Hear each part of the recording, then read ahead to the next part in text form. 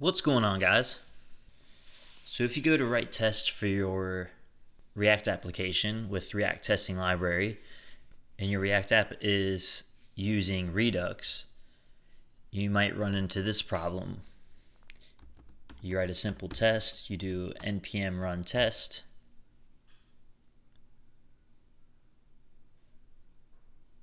and it fails.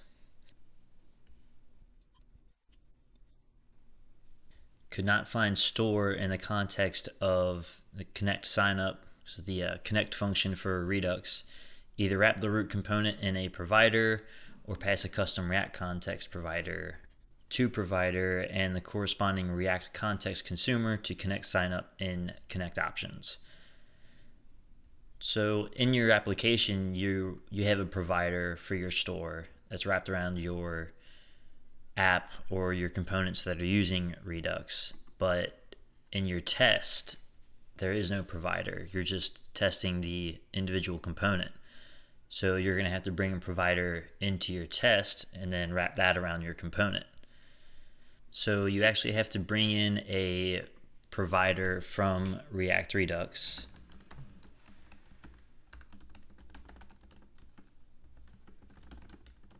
from React Redux. And you're essentially going to have to do a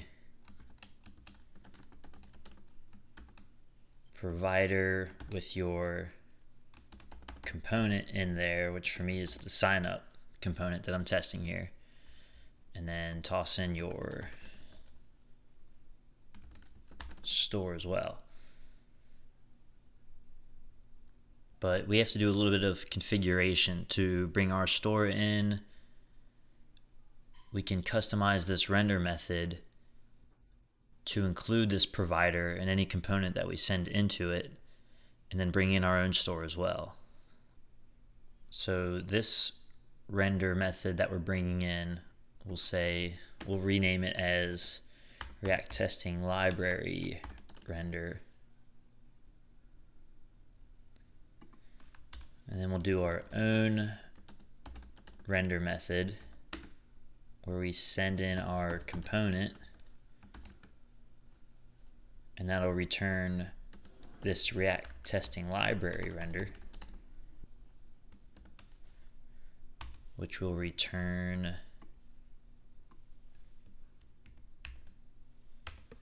this. And instead of having to put our individual component in there we'll just We'll have to wrap that in brackets here.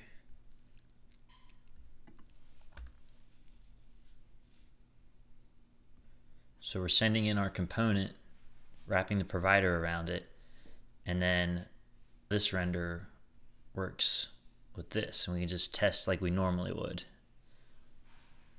Now to pass in our store, we have to do some configuration here. I have all of my store and like my root reducer in my index.js, as I think a lot of people do when they first set up Redux.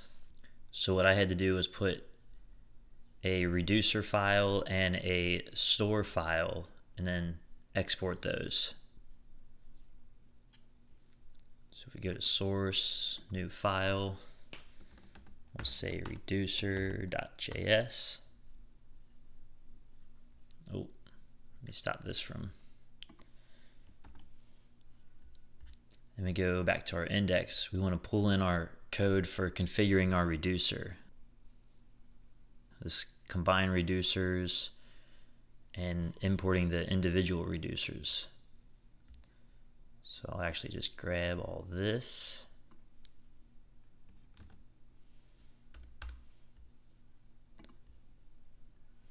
Paste that in here.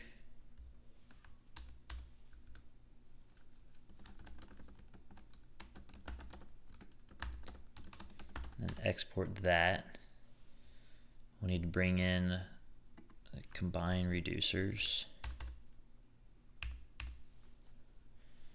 Which we'll just take out of here as well.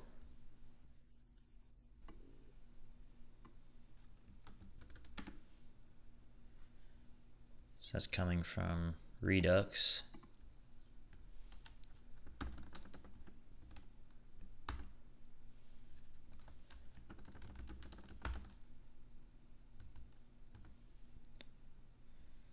And then we want to bring in this root reducer back into our index. Well, no, actually we'll be moving. So we want to set up our store and then export the store as a function from a separate file. So we'll be bringing it into there. So last thing to do here is create a store.js in our source folder. And then we want to bring in everything that configures our store.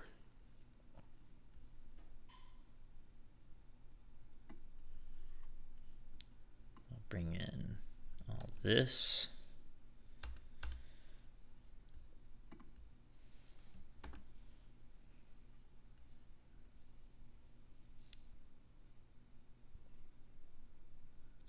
Or actually, I think we need this line. Yeah, we'll need this one in this file. Sorry.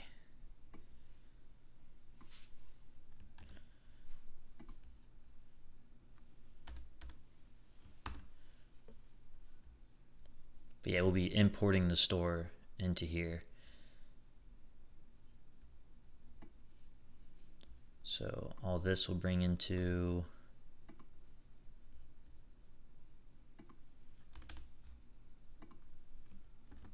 here.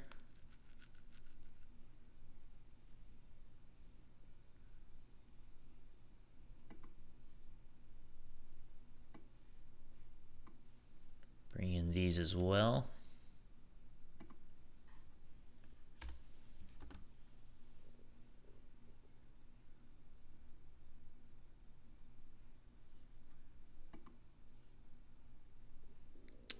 And we'll need the persist reducer from Redux persist.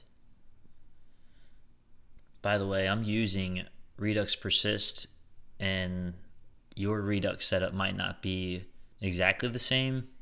You might not have the uh, Redux persist with this persist gate and everything. You might just have the provider, but the setup will still be the same. You'll outsource your reducer and your store and then bring it into here and into your tests.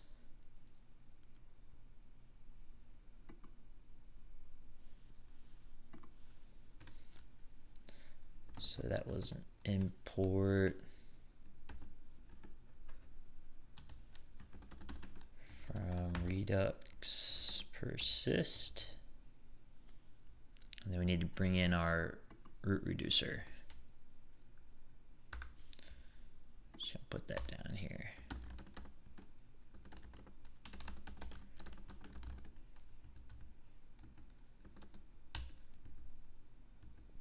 And then we'll turn this store into a function and export it so that we can bring it in to other places.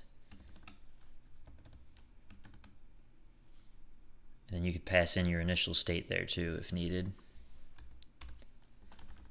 export default store, save that. In our index, we will import store from our store file. And now that was a function, so we'll just need to call this function in these.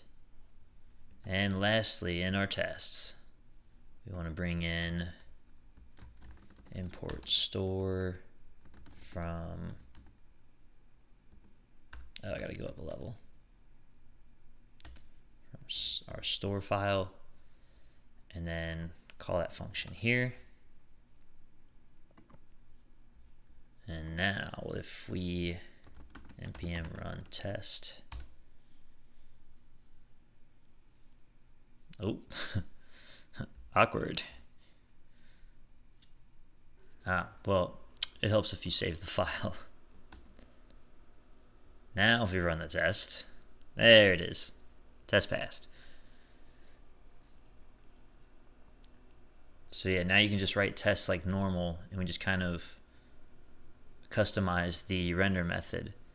And I have a another video where it takes more configuration, but you would do this in a separate file and then import that and your tests you don't have to set this up in every test where you're wrapping your component um, you can just kind of do it like you normally would, and then your tests are a lot cleaner because you don't have to do that.